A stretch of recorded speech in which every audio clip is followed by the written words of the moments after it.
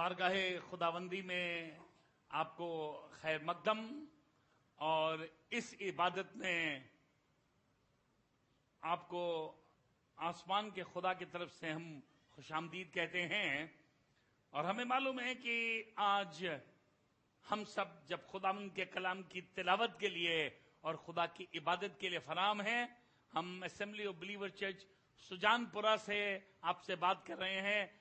لکھنؤ کی کلیسیا assembly of believer church کا مین چرچ ہے اور یہ کلیسیا آپ تمام لوگوں کو جو ہماری آواز کو دنیا کے کسی کونے سے سن رہے ہو، سلام پہنچانا چاہتی ہے۔ یہ کلیسیا کی خوش نصیبی ہے کہ آپ ان کے ساتھ عبادت کر رہے ہیں اور ہماری دعا ہے کہ آج کی عبادت آپ کے لیے تواریخی عبادت ہو، یادگار کی عبادت ہو اور آپ اسے کبھی نہ بھولیں۔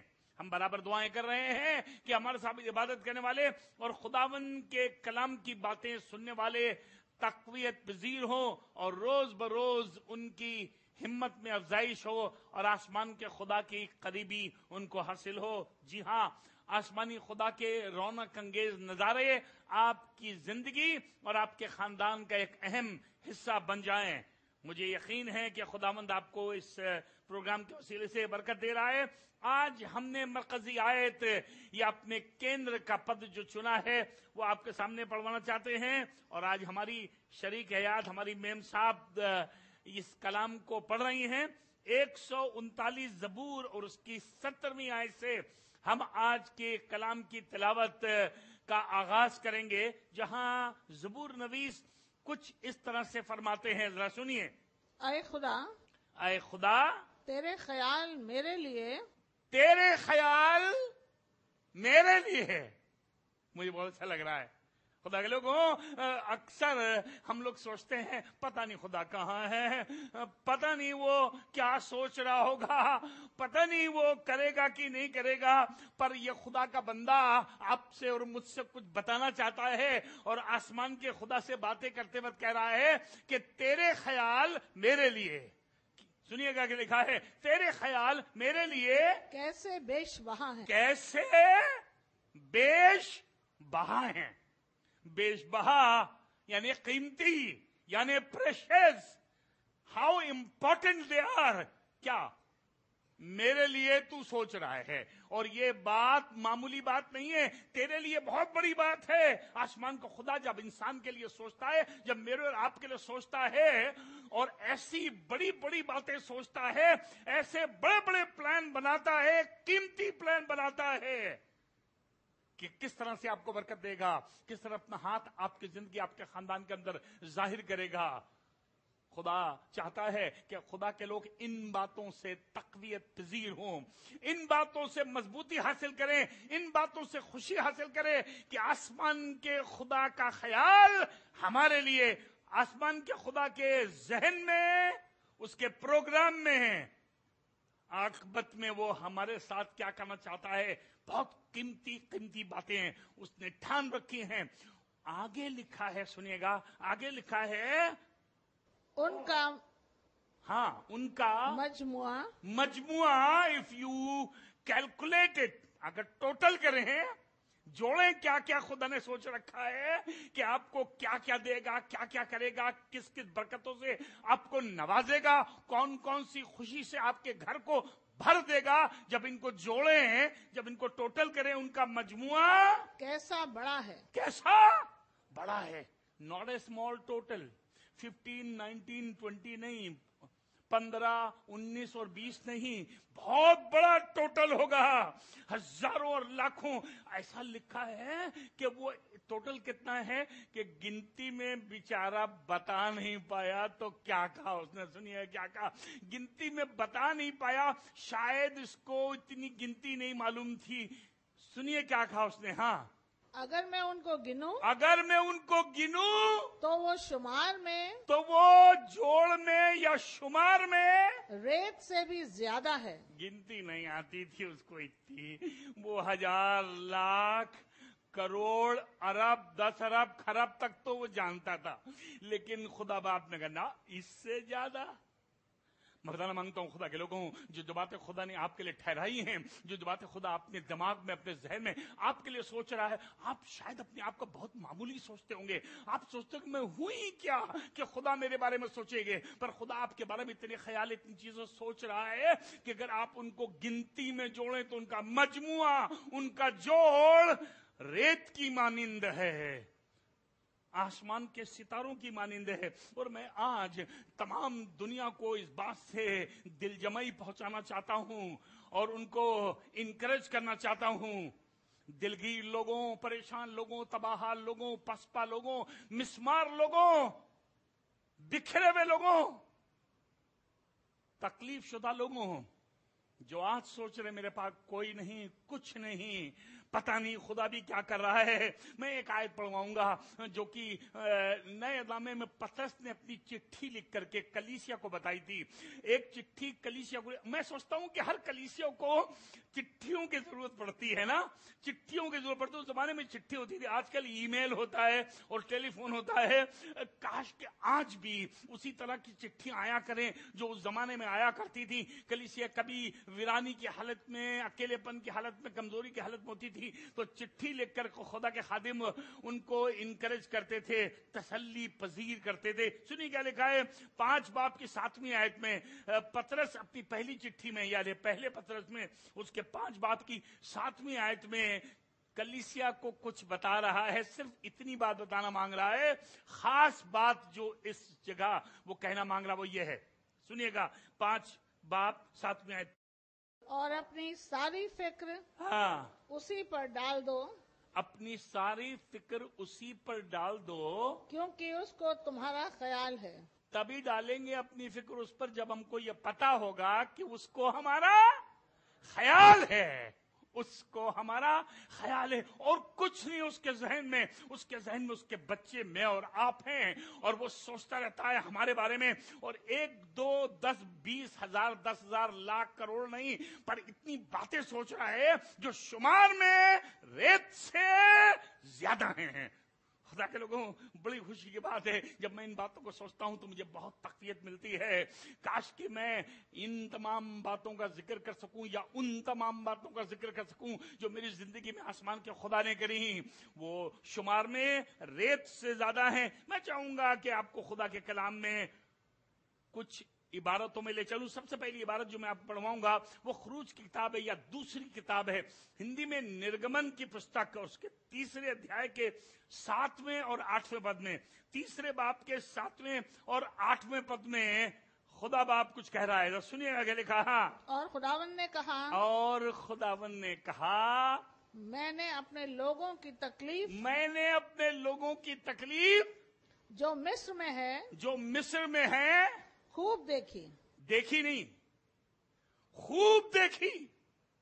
میں نے اپنے لوگوں کی تکلیف خوب دیکھی۔ یہی تو دنیا کو پریشان کرنے والی چیز ہے کہ پتہ نہیں میری تکلیف کوئی دیکھ بھی رہا ہے کہ نہیں دیکھ رہا۔ دیکھنا تو چھوڑ دیجیے۔ اکثر ہم لوگ سوال پوچھتے ہیں، پتہ نہیں میری تکلیف کے بارے میں کسی کو معلوم بھی ہے؟ کہ نہیں معلوم ہے۔ پر آسمان کا خدا صرف یہی نہیں کہہ رہا ہے کہ مجھے تمہاری تکلیف کا پتا ہے پر کہہ رہا ہے میں نے تمہاری تکلیف دیکھی اور خوب دیکھی۔ اور ان کی فریاد اور تمہاری فریاد جو بیگار لینے والوں کے سبب سے ہے ہاں جو تمہیں پریشان کرنے والوں کے تمہیں کوڑا مارنے والوں تمہارے پیسے چھین لینے والوں تمہیں ٹھگنے والوں اور تمہیں برباد کرنے والوں کے سبب سے ہے؟ سنی۔ سنی ہے۔ میں نے تمہاری تکلیف دیکھی اور تمہاری فریاد سنی ہے۔ اب سنیے گا آگے کیا کہہ رہا ہے۔ اور میں ان کے دکھوں کو جانتا اور میں ان کے دکھوں کو جانتا ہوں۔ اس کے مطلب آسمان کا خدا اپنی آنکھوں کے بارے میں کہہ رہا ہے اپنے کان کے بارے میں کہہ رہا ہے اور اپنے ذہن کے بارے میں کہہ رہا ہے۔ میرے آنکھوں میں میرے لوگ ہیں، میرے کان میں میرے لوگ ہیں اور میرے دماغ میں میرے لوگ ہیں اور میرے دل میں میرے لوگ ہیں۔ خدا کے لوگ تم اپنے آپ کو اتنا کمزور کیوں سمجھتے ہو؟ اے بوا انکل، اے دیدی، بھائی، پاپا، ممی، بزنس مین، غریب عورت، اے غریب بچے، اے اکیلے شخص، شاید تم آج میری آواز سن رہے ہو گے اور اس ٹیلی ویژن کو دیکھ رہے ہو گے پر میں تم کو یہ بتانا مانگتا ہوں کہ تم معمولی شخص نہیں ہو کہ آسمان کے خدا نے تمہاری طرف دیکھا ہے اور تمہاری باتیں سنی ہیں اور تمہاری چیزوں کو اپنے ذہن میں رکھے ہوئے ہیں اس کے دل میں صرف تم ہو۔ اور اب سنیے گا کیا لکھا ہے اس سے بڑھ کر ایک بات بتانے جا رہا ہوں۔ میں نے میں نے دیکھی ہے میں نے سنی ہے اور میں نے میرے ذہن میں تم ہی تم ہو۔ آگے۔ اور میں اتر اب میں اترا ہوں۔ اب میں اترا ہوں۔ کہ ان کو مصریوں کے ہاتھ سے چھڑاؤں۔ آپ کو ایک بات معلوم ہے؟ آسمان کے خدا کو جب اپنے لوگوں کی تکلیف معلوم ہوتی ہے، ان کی تکلیف، ان کی مدد کرنے کے لیے وہ اتر ہی آتا ہے۔ کئی دفعہ آپ کے اپنے لوگ اپنے درجے سے، اپنے رتبے سے اترنے کو تیار نہیں۔ اسی لیے وہ آپ کی مدد نہیں کرنا مانگتے، کیونکہ ان کو اترنا پڑے گا۔ بھیا، ہم ان کے گھر نہیں جائیں گے۔ وہ بہت بدنام لوگ ہیں۔ میں ان سے نہیں ملوں گا۔ بھیا، ان سے ملیں گے تو لوگ ہمارا نام بدنام کر دیں گے۔ ہمارے منہ پہ کالک لگ جائے گی۔ اس لیے ہم کسی کو کچھ کرنا نہیں چاہتے۔ پر آسمان کو خدا اپنے لوگوں سے اتنا پیار کرتا ہے کہ ان سے ملاقات کرنے کے لیے، ان کی تکلیف کو دیکھنے کے لیے ہے اور ان کے مدد کرنے کے لیے ہے۔ اس کے ذہن میں جو بات ہے ان کو پورا کرنے کے لیے، وہ آسمان سے زمین پر اتر آیا۔ اب میں اتر آیا ہوں۔ ایک بات بتانا مانگتا ہوں، آپ کہیں کیوں کیوں نہ رہتے ہوں کسی گلی میں، کسی کوچے میں، کسی چھوٹے سے جھوپڑی میں رہتے ہوں یا بڑے محل میں رہتے ہوں؟ اکثر لوگ یہ بات کمپلین کرتے ہیں کیا بڑے بڑے محل میں جو رہتے ہیں، خدا ان سے پیار نہیں کرتا؟ بتانا مانگتا ہوں کہ خدا آپ سے پیار کرتا، چاہے آپ جھوپڑی میں رہتے ہوں، چاہے آپ محل میں رہتے ہوں، پر خدا یہ بتانا مانگتا ہے، میں آ گیا ہوں تمہاری سچویشن میں۔ جب انسان آسمان کے خدا تک پہنچ نہیں پاتا، تب آسمان کا خدا انسان تک پہنچ جاتا ہے۔ اور آج یہ بات آپ کو بتانا مانگتا ہوں کہ خدا اپنے ذہن میں اتنی باتیں آپ کے لیے رکھے ہوئے ہیں، اتنے پلان بنائے ہوئے اتنے کام کرنا چاہتا ہے جو شمار میں ریت سے زیادہ ہیں۔ اس لیے مت کہیے گا کہ اب میں کیا کروں گا؟ اب میں اتر آیا ہوں۔ اور آپ کو پتا ہے کہ آسمان کے خدا نے اتر کے کیا کیا کیا۔ اب میں اتر آیا ہوں اور اتر کر کے بہت ڈھیر ساری چیز کری۔ ایک بات پڑھوانا مانگتا ہوں۔ میں چاہوں گا کہ خروج کی کتاب نکالیں اور اس کے سترہ باپ کی چھٹی آئے تھے جب آسمان کا خدا پرانے ادنامے میں اس تباریخ کے اندر جو آپ آپ نے پڑھی ہے، جب اتر آیا تو اتر کے اس نے بہت ڈھیر سارے کام کیے۔ پر ان کاموں میں سے ایک کام بتانا مانگتا ہوں، جو یہاں پہ لکھا سترہ بب کی چھٹی آیت میں لکھا ایک دن ایسا ہوا کہ خدا کے لوگوں کے پاس پانی ختم ہو گیا۔ ایک دن خدا کے لوگوں کے پاس پانی ختم ہو گیا۔ اور یہ پرابلم تو ہماری بھی رہتی ہے، اکثر پانی وانی کی رہتی ہے نا۔ پانی کی پرابلم تو آپ کی رہتی ہے، بجلی کی پرابلم آپ کی بھی۔ رہتی ہے نا، پیسے کی کبھی پیسے ختم ہو جاتے ہیں اور کبھی کبھی راشن ختم ہو جاتا ہے۔ یہ سب باتیں جو آپ کی ہیں، یہ باتیں اس زمانے میں بھی تھیں اور آسمان کے خدا کو یہ باتیں معلوم ہیں اور آسمان ان باتوں سے روشناز ہے کہ آپ کس حالات سے گزر رہے ہیں۔ سنیے گا، سترہ باپ کی چھٹی آیت میں جی تو آسمان کے خدا نے موسا سے کہا تھا موسا میں چاہتا ہوں کہ تو ان لوگوں کے لیے پانی کا انتظام کر۔ اور سنیے گا لکھا جی دیکھ دیکھ۔ میں تیرے آگے جا کر میں تیرے آگے جا کر وہاں ہوریب کی ایک چٹان میں ہوریب کی ایک چٹان میں کھڑا رہوں گا۔ میں تجھے بھیج رہا ہوں کہ تجھا معاوضہ کر۔ اور میں تیرے آگے جا کر اس ہوریب کی چٹان میں کھڑا رہوں گا۔ کئی دفعہ لوگ انگلی کے اشارے سے بھیج دیتے ہیں آپ کو۔ کئی دفعہ لوگ ٹیلی فون کر دیتے ہیں۔ کئی لوگ چٹھی بھیج دیتے ہیں کہ بھیا فلانا آ رہا، مدد کرنا۔ پر آسمان کے خدا نے کہا موسا تو اس چٹان پر جائے گا اور تجھ سے پہلے میں وہاں پہنچ جاؤں گا۔ خدا اپنے لوگوں سے اتنا پیار کرتا ہے، اتنا خیال کرتا ہے کہ اس نے کہا، تیرے پہنچنے سے پہلے میں وہاں پر پہنچ جاؤں گا۔ کیونکہ خدا کچھ سوچ رہا ہے آپ کے لیے کچھ کرنا چاہتا ہے کچھ میریکل کرنا مانگتا ہے پانی پلانا مانگتا ہے پیاسا جنگل میں مار نہیں دینا مانگتا۔ میں چاہوں گا اسی ایک سو انتالیس زبور کی دسویں آیت پڑھیں۔ اسی ایک سو انتالیس زبور کی دسویں آیت جہاں سے اپنی مرکزی آیت کو ہم نے حاصل کیا اس کی دسویں آیت میں لکھا ہے ایک ایک خاص بات تو ایسے شروع ہوا ہے۔ ہاں۔ تو وہاں بھی تو وہاں بھی تیرا ہاتھ تو وہاں بھی میرا ہاتھ تیرا ہاتھ میری رہنمائی کرے گا تو وہاں بھی میرا ہاتھ تیری رہنمائی کرے گا۔ میرا ہاتھ تیری رہنمائی کرے گا۔ اس کے مطلب آسمان کا خدا ہمارے حالات میں جہاں ہم کو معلوم نہیں ہم کہاں جائیں کس طرح بہتر ہوگا کون سی نوکری کریں زمین کہاں لے، مکان کہاں بنائے، بچی کی شادی کہاں کریں، یہ بزنس شروع کریں کہ نہ کریں، یہ راستہ صحیح ہے کہ غلط ہے، میرا ہاتھ تیری رہنمائی کرے گا۔ مجھے لگتا ہے کہ یہ ہاتھ رہنمائی کرنے کا مطلب یہ ہے، آسمان کا خدا کہہ رہا ہے، میں تیرے میں ہاتھ میں ہاتھ ڈال کر کے پکڑ کر کے تجھے لے چلوں گا۔ کئی دفعہ جب ہم کسی کی بہت زیادہ مدد کرنا چاہتے ہیں کہ وہ اس جگہ پہ پہنچ جائے جہاں پہنچنا مانگ رہا ہے، تو ہم ہاتھ پکڑ کر کے اس کو سیڑھی چڑھاتے ہیں۔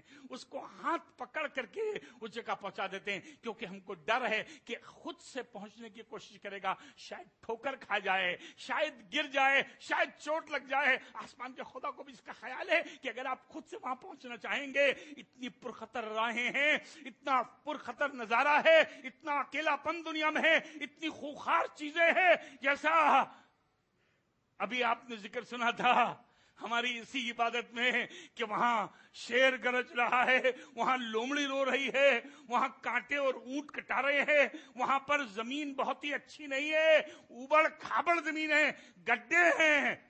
پریشانیاں ہیں۔ ایسے منظر میں آسمان کا خدا اپنا ہاتھ اپنے لوگوں کے ہاتھ میں ڈال کر کہنا مانگتا ہے، میں تمہاری رہنمائی کروں گا۔ وہاں بھی میرا ہاتھ تمہاری رہنمائی کرے گا۔ خدا کے لوگوں، مجھے یہ بات اچھی لگ رہی ہے۔ میں ہر شخص سے بتانا چاہتا ہوں، آپ جہاں کہیں سے اس پروگرام کو دیکھ رہے ہیں کہ آپ اپنے جگر پر ہاتھ رکھ کے کہہ دیجیے ٹونی، خدا تیرے بارے میں سوچ رہا ہے، خدا کے خیال تیرے لیے نہ صرف امیک ہیں بلکہ ڈھیر سارے ہیں اور ان کا جوڑ یا ان کا مجموعہ زمین کی ریت سے زیادہ ہے۔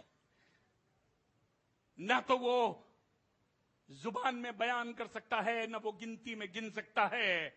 خدا کے کلام کے اندر لکھا ہے، آسمان کا خدا سب چیز کرنے پر قابض ہے۔ خدا کے کلام کے اندر لکھا ہے کہ وہ وہ پہاڑوں کو ترازو پر تولتا ہے اور سمین سمندر کی ریت کو انگلیوں پہ گنتا ہے اور وہ سمندر کے پانو کو چلو سے ناپ لیتا ہے۔ وہ خدا آپ کی مدد کرنا مانگتا ہے۔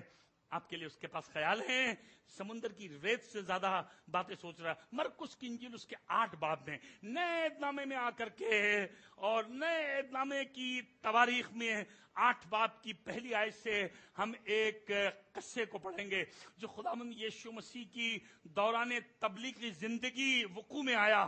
جب آسمان کا خدا اپنے بیٹے کی معرفت بنی نو انسان سے کلام کر رہا تھا اور کرشمے ہو رہے تھے۔ ایک دن خدا مند یسو مسیح نے کثیر التعداد جماعت کو اپنے چوگرد آسمانی باتیں سنتے پایا اور کافی دیر ہو گئی تھی۔ تو خدا مند یسو مسیح نے کیا کہا سنیے لکھا پہلی آئے سے۔ جی آٹھ باب پہلی آئے سے۔ ان دنوں میں ہاں۔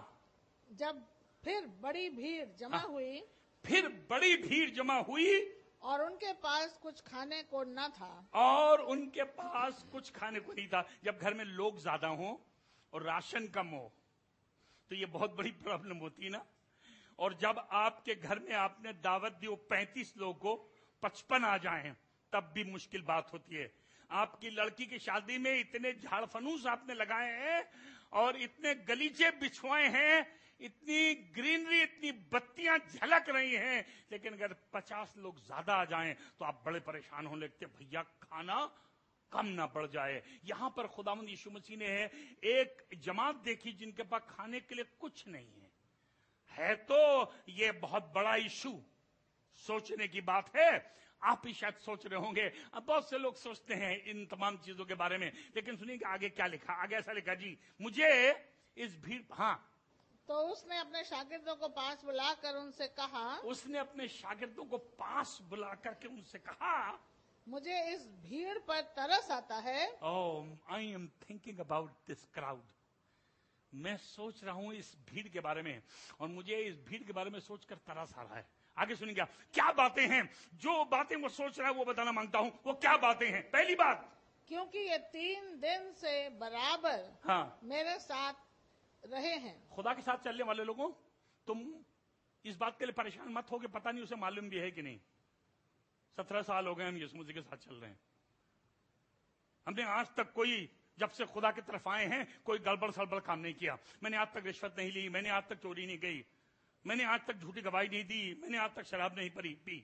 میں بہت ہی ایمانداری سے خدا کے ساتھ چل رہا ہوں، جو چھوٹی سی تنخواہ میری اسی میں گزارا کرتا ہوں اور پتہ نہیں خدا کو معلوم ہے کہ نہیں ہے، پر ایک بات بتانا مانگتا ہوں کہ خدا کو بالکل سے سچ سچ معلوم ہے، پورا پورا معلوم ہے کہ آپ تین دن سے اس میٹنگ میں بتانے کی ضرورت نہیں ہے، اور کئی دفعہ ہم اپنے خدا کو وہ باتیں بتاتے ہیں جو بتانے کی ضرورت ہی نہیں۔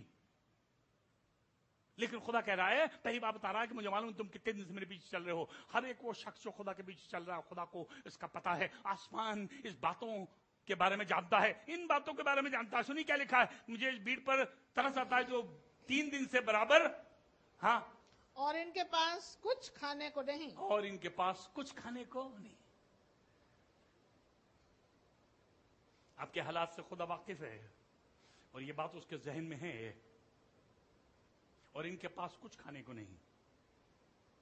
میں تمام دنیا کو یہ بتا دینا مانگتا ہوں کہ آسمان کا خدا کو نہ صرف آپ کی روحانی زندگی کا خیال ہے کہ آپ نے دعا کری کہ نہیں کری، آپ نے بائبل پڑھی کہ نہیں پڑھی، آپ کتنے راست باز ہیں، آپ آسمان جانے کے قابل لے کے نہیں ہیں، پر آسمان کے خدا کو آپ کے ناشتے، آپ کے دوپہر کے کھانے اور آپ کے شام کے کھانے کا بھی خیال ہے، اس کو یہ بھی پتا ہے کہ آپ کے بچے کیا کھائیں گے۔